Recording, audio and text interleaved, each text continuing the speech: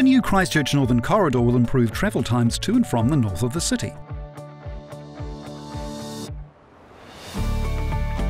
We're improving walking and cycling by providing a shared path that runs beside the motorway.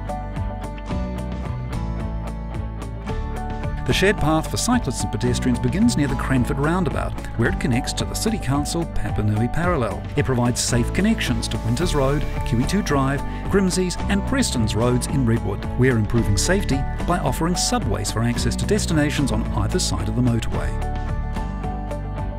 At the Styx River, the shared path crosses its own bridge and connects with Radcliffe Road and Owen Mitchell Park and provides access to housing and businesses in eastern Belfast. At the Waimakariri River, cyclists can use a cycle lane on the bridge to travel to Kaiapoi, Pegasus and Rangiora.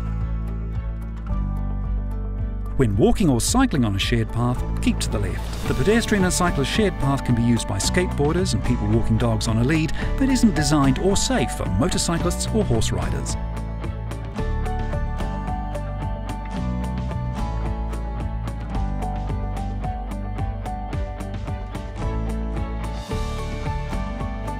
We're building safer roads to connect people in northern Christchurch. For more information and other videos, visit our website